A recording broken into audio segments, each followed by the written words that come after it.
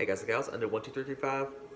I wanted to talk quickly about something that I noticed in the tower earlier. They said there's a new kiosk near where the vaults are, and I, it gives you the opportunity to buy old exotics and old like legendaries, like the old pinnacle weapons and stuff like that.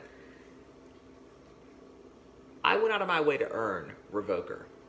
I went out of my way to earn the Gambit weapons and stuff like that, and you give it to people for free for in-game currency.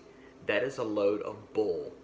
If I had to grind for it, you should have to grind for it. You can outright purchase Not Forgotten, Luna's Howl, Mountaintop, and all this stuff. They're capped at 1060, which is fine. But the problem is, people worked for those, and you're just giving them away. Like, what's wrong with you? It, and the strike weapons too. You're just giving them away. They're old. The raid weapons though, you have to actually do the raids themselves to get the uh, materials. I believe it's called um, spoils of plunder or something like that to get them. It doesn't make sense, but I mean,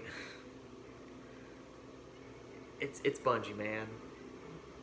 I don't know why they did that. If you missed out, you missed out. I didn't mind missing out on like Heir Apparent or anything like that. It's not that big a deal to me, but you know they gotta appeal to the newbies. Also, on their servers, I'm gonna squeeze this into this video.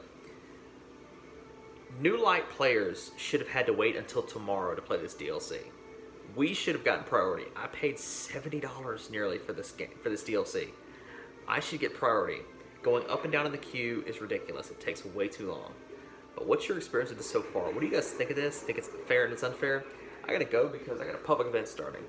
If you enjoyed this, a like and sub would be appreciated. If you want to see more, thumbs up is always, always appreciated. And a comment below lets me know that I'm doing my job right. See y'all later. Peace.